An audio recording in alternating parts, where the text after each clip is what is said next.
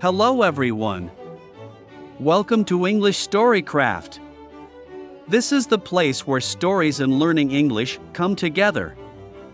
We'll share fun stories that will help you with your English.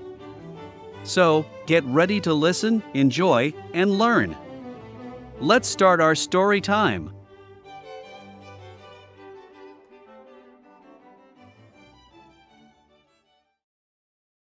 Charlotte's Cafe Experience Charlotte's desire for a part time job wasn't just about pocket money, it was a quest for independence and real world experience. After browsing local job listings, she was drawn to Morning Dew, a local cafe famed for its aromatic coffee and sumptuous cakes.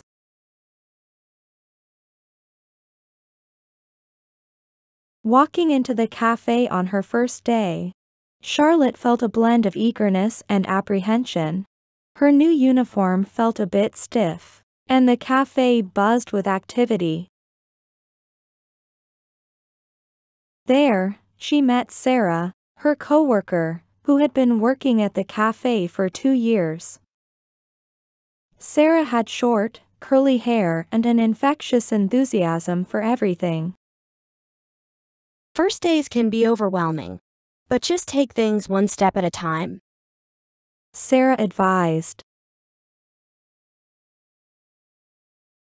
Charlotte's first challenge wasn't with a customer, but with the espresso machine. With buttons and knobs galore, it looked more like a spaceship's control panel than a coffee machine. Sarah demonstrated the process explaining the difference between a cappuccino and a latte. And soon enough, Charlotte was crafting her own drinks.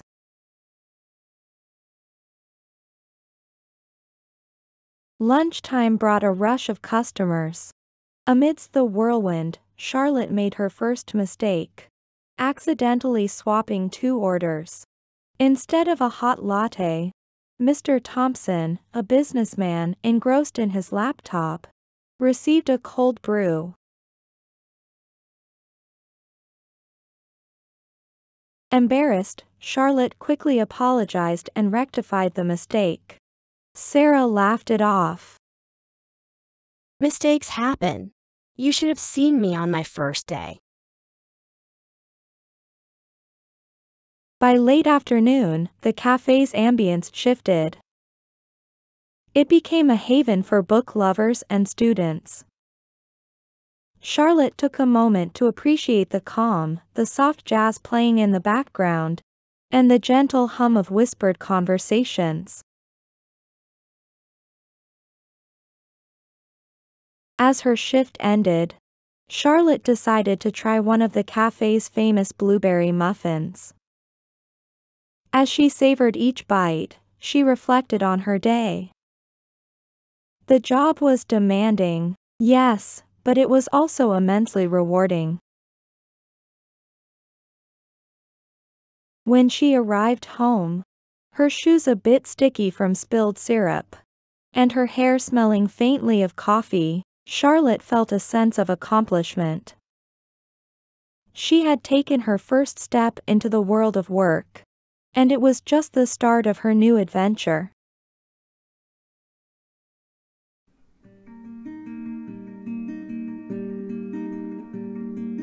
Thanks for joining us today at English Storycraft. If you enjoyed it, give it a thumbs up and don't forget to subscribe. Each story is a step closer to mastering English. See you next time.